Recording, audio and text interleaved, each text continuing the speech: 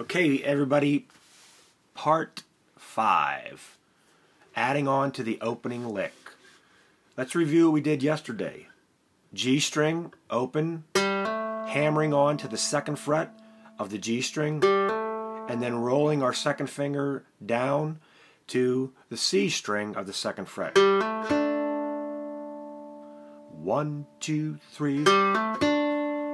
Good. Now let's add on to the next part. We're going to start again at the second fret of the C string and then we're going to play to the first fret of the E string.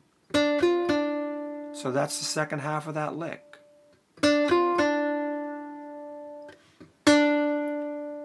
C string, E string first fret, back to the second string, or back to the second fret of the C string. Let's put those two parts together. One, two, three, two, three, two, three.